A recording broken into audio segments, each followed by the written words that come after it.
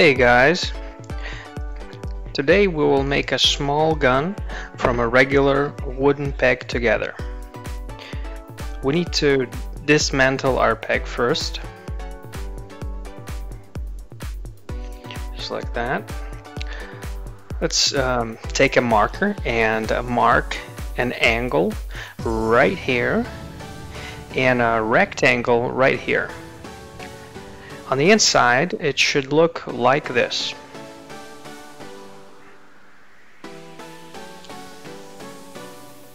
Now, let's cut out the pieces we have marked.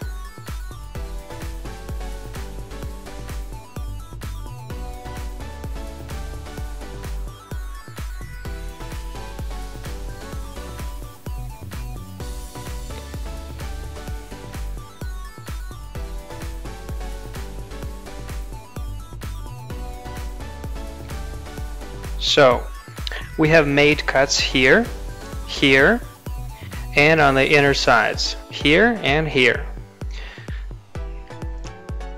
Now, we have to cut off the barrel of the gun just a little bit as uh, I'll be shooting with matches like so.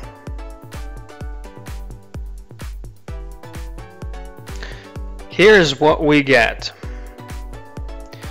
take a look. We put the pieces together. It fits perfectly. The match fits perfectly. Now we have to glue our peg. I will use PVA glue. It works great for paper as well as wood. A word of advice on the glue. When you buy it, look specifically for PVA K. I'll, I'll show you in a bit. Here, PVAK. Regular PVA has a different consistency and does not glue pieces together as good. It's a useful thing to have at home.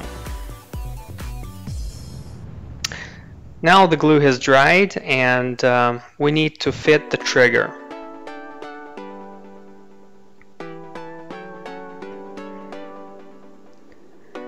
Fit it like this, put it inside, and the gun is ready.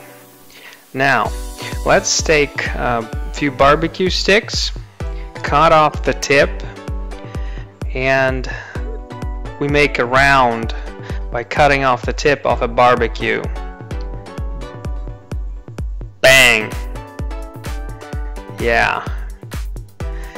After the shot, we reset the trigger and our gun is ready to shoot again. Bang. Thanks for watching.